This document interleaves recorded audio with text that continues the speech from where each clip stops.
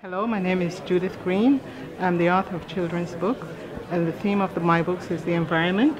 Here I have a book titled Mona's World, A Family Secret. It's for children for five years and under, and it tells, it introduces the children to the environment so that they get the early concepts about um, the environment.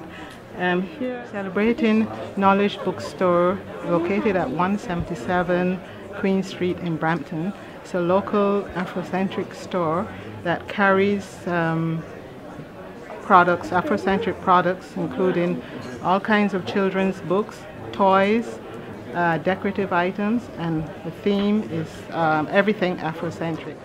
So I encourage you to come on out to Knowledge Bookstore and to celebrate with us, and also to support your local black authors.